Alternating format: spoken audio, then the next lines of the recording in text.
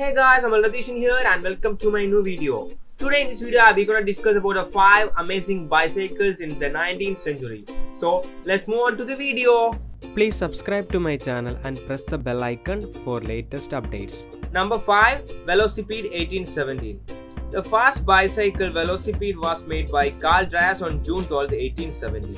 He obtained a patent in January 1880. This was a first balanced bicycle and quickly became popular in both the United Kingdom and France where it was sometimes called as tricycle. It was made entirely of wood and metal and despite the condition of the roads at the time was sometimes ridden for long distances. Number 4. Macmillan's Bicycle 1839 This bicycle made by Kirkpatrick Macmillan is the first ever pedal driven bicycle. The major portion of this bicycle was wood and includes iron trimmed wooden wheels, a steerable wheel in the front and a larger wheel in the rear which was connected to the pedals via connecting rods.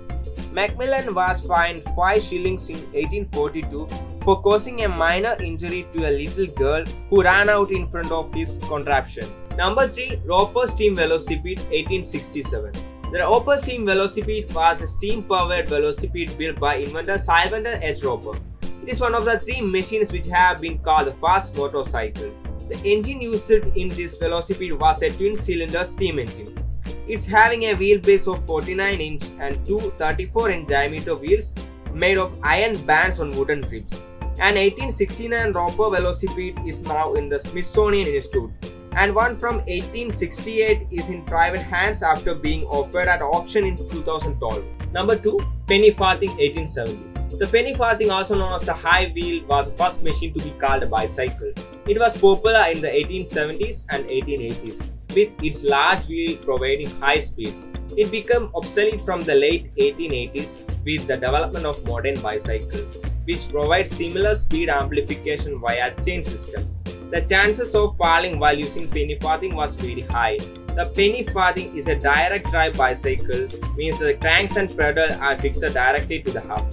Today, enthusiasts ride restored penny farthing and a few manufacturers build new ones with modern materials. Number 1. Safety Bicycle 1880 a safety bicycle is a type of bicycle that became very popular beginning in the late 1880s as an alternative to the penny farthing and is now the common type of bicycle.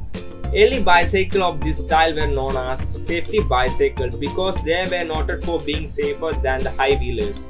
Unlike with penny farthings, riders' feet were within the reach of ground, making it easier to stop. Please subscribe to my channel and press the bell icon for latest updates.